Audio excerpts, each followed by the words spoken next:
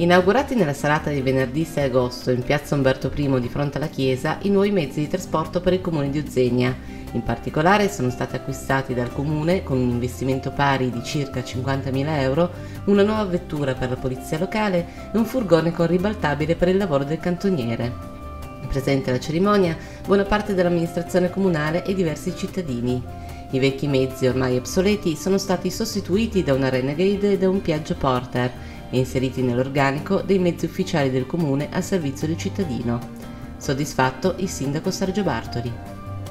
Come sapete i mezzi erano necessari perché ormai diciamo, i vecchi automezzi erano obsoleti, erano anche diventati un po' insicuri per, eh, per il lavoro che devono svolgere i nostri operatori e quindi diciamo che l'abbiamo mandato in pensione i vecchi, i vecchi automezzi.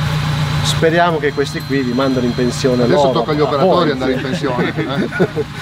Quindi grazie e, sicuramente con, con due eh, operatori eh, come, che abbiamo eh, saranno molto utili e efficaci per, per tutti i cittadini di Ozino. Grazie a tutti.